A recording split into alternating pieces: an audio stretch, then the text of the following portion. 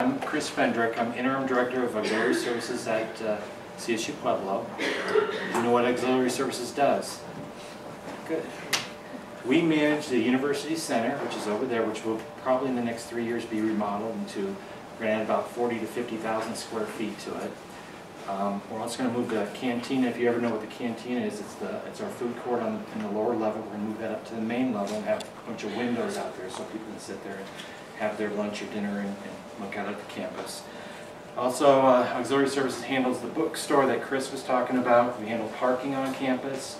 We handle food services, which include uh, any catering, student dining and meal plans, um, and any of the retail locations on campus, including the um, Cafe Libro. There's a coffee shop in the Life Science Building. There's a little uh, uh, convenience store outside the Hasan School of Business. There's a, uh, a little store in, outs inside the uh, um, um, Residence Hall. Um, Also, we handle the vending machines on campus. We just put in 17 vending machines, just got in today, this morning. I was out running around to everything this morning. I didn't know I was going to be on campus. And uh, also, we handle IDs, which I'll get into a little bit um, further, a little bit later. And we handle the Red Line Shuttle, which is the shuttle we run on campus on Friday through Saturday, or Friday through Sunday, every weekend. Um, We run that to, from the President's Halls and Wolf Village all the way down to Denver, or not to Denver, to the downtown area. Also, we'll be running it during the state fair as well. We handle this child care center, and uh, like I said, we have the parking and transportation on, on campus. Um, The IDs, everybody's got an ID, right? Everybody's got an ID, right? If you don't have an ID, you go over to our office, which is located on the main level of the University Center. Um, It's ten dollars to get your ID. Um, On this, this is, eventually what they're gonna do is uh, put uh, sliding locks in all the doors of all the academic buildings, so you will have to get one of these to get in if you're coming late at night or something like that. Um, So that way we can keep track of who's getting, coming into the, to the uh, academic buildings. But that's gonna be coming probably within the next two years, so if you don't have one of these, you should probably get one of these. Also, what Chris had talked about was um, Thunderbucks. Thunderbucks are money that you can add to the account, and if you look in that thing that's being handed out, the bag that's hand- being handed out, there's going to be a a guide in there, which is basically a parent guide. But if you go to the spine, the middle of the uh, booklet, it'll basically give you an explanation of what Thunderbucks is. People get that confused with dining dollars or um, flex points. Dining dollars and flex points are for meal plans. A lot of you probably won't be getting meal plans, but if you want to eat on campus, you might want to think about getting um, Thunderbucks. These are money that you can add to your account.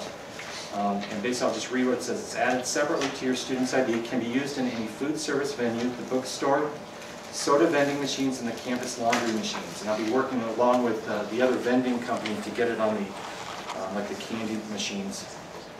What you get is ten percent discount on food items. So if the coffee is five dollars, I don't know what it costs, five dollars, you get maybe four dollars and fifty cents, but you don't have to pay taxes on it either. So you save on that as well. So it's a great deal, just to put like, you know, fifty to hundred bucks. in this. You're on campus and you want a coffee, you can just go slide your card and they can add them, um, and get a discount on it. Um, In the bookstore, you get a ten percent discount except textbooks and computer software. Um, Also, I don't believe that taxes are free in the, in the, in the bookstore. Chris, is that correct? It's not. So um, you just get the ten percent discount, which is still pretty good. Um, Anybody, anybody have any questions on Thunderbucks and what that is? Where do you add the money at? Over in our office, um, which is in the um, University Center, OUC, Occhiato University Center, on the main level that says information right up there, you can go right there, or you can call us.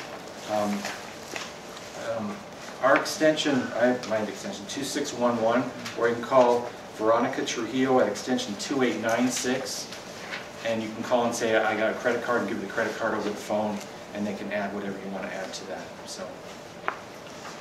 Any other questions on Thunderbucks and how to do that? Um, Parking on campus. um, I would say that if you take night classes, you should be safe. If you don't have a parking pass, but I would suggest getting one because I can't guarantee it. Um, Normally, they will still be checking to about 5:30, but some nights they may check later, so I would suggest still getting a parking pass. And in that package, you see the, the rates that are there for the parking. This is the rates, and there's also a map in there of the campus as well. And you get your parking passes either at our office in the OUC or down in the basement of the admin- administration building at the sheriff's office there. Any questions on parking?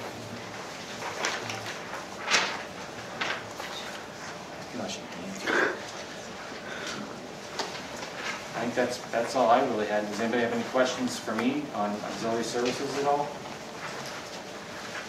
Yes. What kind of dining options are available for students? Um, Basically, we have uh, a cafeteria right now, which anybody can go into. It's open, um,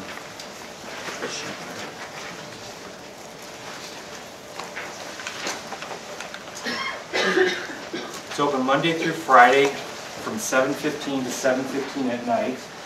On Saturdays and Sundays, um, they're open from 10:30 to 1:30 for brunch, and then for dinner, 5 to 6:30. The cantina, which is like a food court downstairs, we have uh, um, the bagels, um, Einstein Bagels down there. They're open on Monday through Thursday from 9 AM to 8 PM, and then on Friday from 9 AM to 3:30 PM.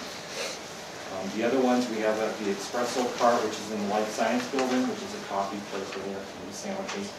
Um, The uh, um, Cafe Libro right out here in the library with sandwiches and drinks and coffee. And then we have the Bistro, which is over in Culebra Residence Hall, which is like a convenience store. And it, uh, uh, the uh, Pavilion, which is right outside of HSB, the School of Business, so. Any other questions? All right, thank you very much.